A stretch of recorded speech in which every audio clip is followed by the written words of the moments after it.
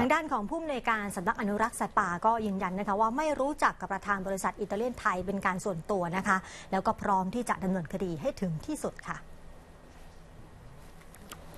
นางสาวการจนานิตยะผู้อำนวยการสำนักอนุรักษ์สัตว์ป่ากระทรวงทรัพยากรธรรมชาติและสิ่งแวดล้อมได้กล่าวถึงการจับกลุ่มประธานบริษัทอิตาเลียนไทย เข้าล่าสัตว์ป่าในเขตพื้นที่เขตรักษาพันธุ์สัตว์ป่าทุ่งใหญ่นเรศวรตะวันตกว่า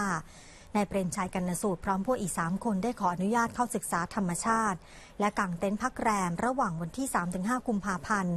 โดยไม่ผ่านการสุ่มตรวจของเจ้าหน้าที่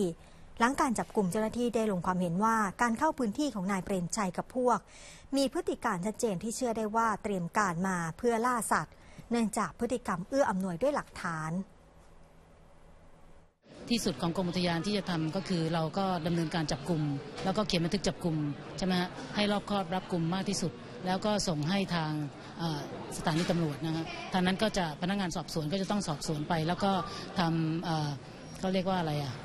ไอ้สำนวนคดีเนี่ยขึ้นไปให้อายการหรืออะไรดำเนินผู้พิพากษาอะไรนั่นก็เป็นเรื่องของขั้นตอนตามทางกฎหมายต่อไปนะฮะในส่วนของกรมที่เราดำเนินการถึงที่สุดก็คือ เราก็ส่งคดีนะครับ นะในส่วนที่ว่าถามว่าเราจะเอ่อดำเนินการในส่วนของพื้นที่ยังไง ก็คือไอ้เรื่องนี้มันก็เป็นเรื่องที่เป็นเรื่องของบุคคลที่กระทำนะมันมันเป็นเรื่องที่เกิดขึ้น เพราะฉะนั้นในเมื่อเราทำอย่างนี้มันก็ไม่สะมันก็ไม่ควรที่จะไปกระทบกับผู้ที่ต้องการเข้าไปศึกษาธรรมชาติ เพราะนั้นถามว่าตอนนี้ถ้าถ้าจะให้คิดว่าจะปิดหรือไม่ปิดพื้นที่เนี่ยมันมันไม่ใช่ไม่ใช่เรื่องนะที่เพราะมันจะไปกระทบกับคนอื่นนะครับ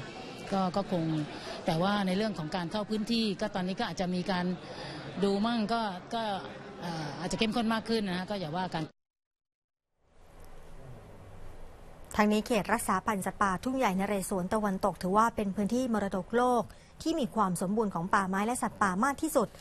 ปัจจุบันมีจำนวนประชากรเสือดำและเสือดาวอยู่ในพื้นที่ป่าแห่งนี้ประมาณ 130 ตัว